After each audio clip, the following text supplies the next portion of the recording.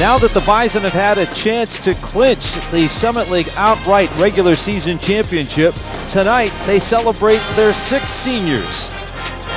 Seniors who have helped the Bison nearly to an NCAA tournament in their final years as they take on the Denver Pioneers on this Saturday night. Goes in deep to Bjorklund, working on Olson, spinning right, powers up for the lay-in and got it for two. Left side to Kory Brown, left alone, doesn't take the three, drives instead. The four-foot floater, good.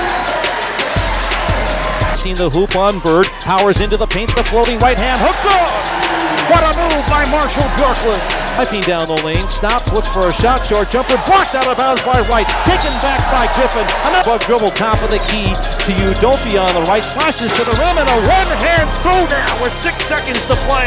And Olson gets a bounce pass to Udofia at the rim, short jumper blocked by TrayVonn Wright to Braun, slicing through traffic, right hand layup, got it,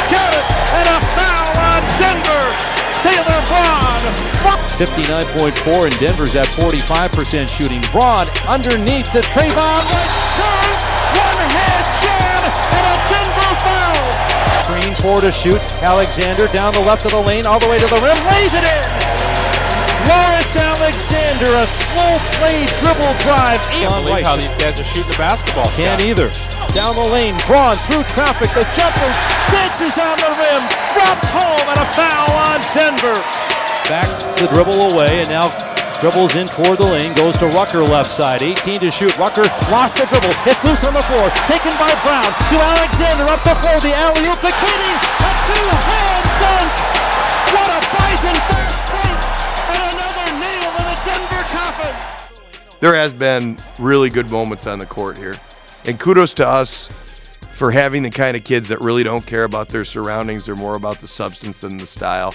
And I, I wish with every fiber of my being that this group this year, that every group that I've had could have played in the amenities that we're about to have. Well, that, that's exactly right. We know we still got hopefully quite a bit of time left with each other. And, um, you know, it's just, just an honor, um, just a way to honor the seniors. Um, you know, we we're looking forward to it. Um, it it's, it's, over now. Um, Got to look forward to first round or second round of the Summit tournament.